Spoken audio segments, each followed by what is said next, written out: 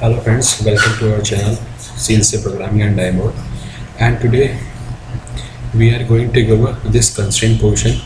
And in constraint we have two type of constraint. One is dimensional constraint and second is geometrical constraint. So let's start with the geometrical constraint. Or before starting our tutorial I will request you please subscribe our channel share our channel. So in this geometrical constraint we can specify the geometry and the relation between the two lines curves or points what we want to define in our sketch. The first we have this coincident coincident will automatically match two point with this option. Coincidence coincident will match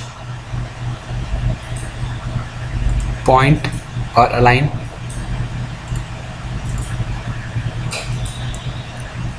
Sorry not possible.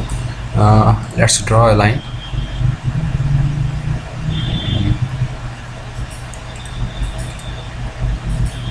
Hmm. again I will choose this coincident I want to coincident this point to this point. So both the point will automatically automatically come at a single point. And again second point we have this point on curve. And with the help of this constraint we will define a point on a specific a specific line or axis. So I want to constrain this point with respect to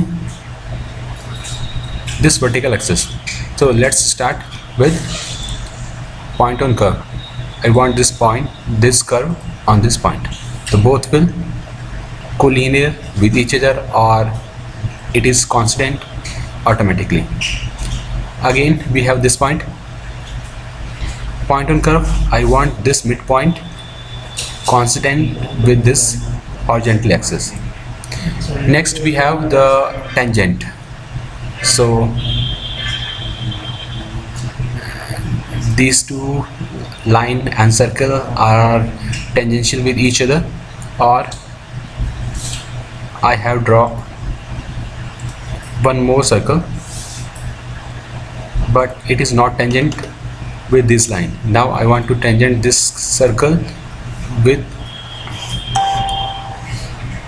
with this line. Just click the line. It is not properly because we have not selected this tangential option.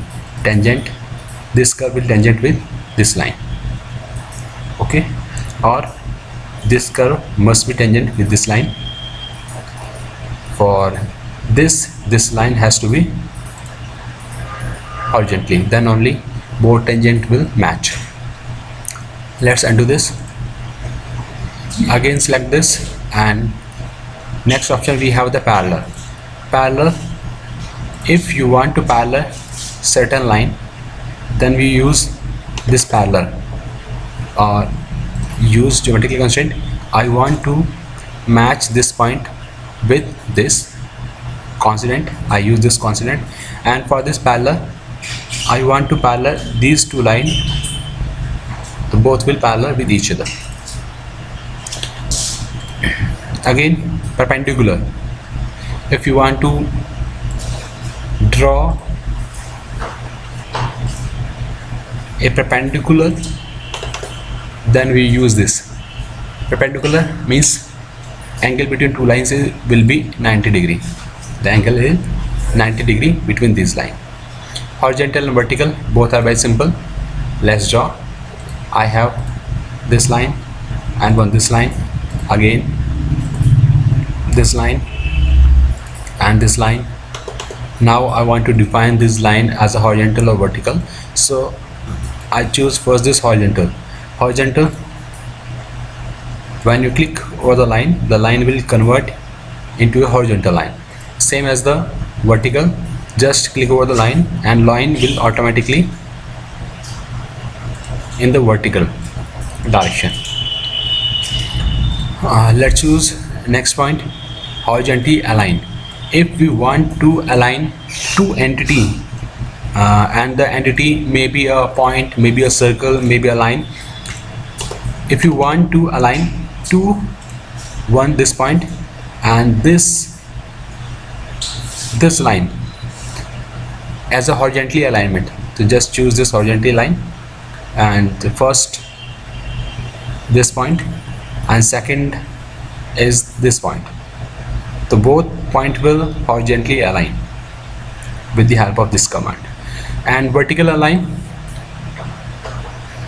I want to align this point to this. Both will vertically align. If you will move this point automatically second line second point will move with respect to first one. Midpoint. This is also a good point I want to match this point at the mid of this line. Automatically it will match. Undo or choose again. This point will match at the mid of this line. This is match. Now collinear. If you want to match two line collinear then use this collinear. This line and this line both will collinear. So this will be the result. Next we have the concentric. Just draw a circle. It may be bigger or smaller. Concentric means it will make two circle or two arc concentric let's delete this and then equal length. This is also important. And while we are draw we draw anything we use this. I want to define these two line as a equal distance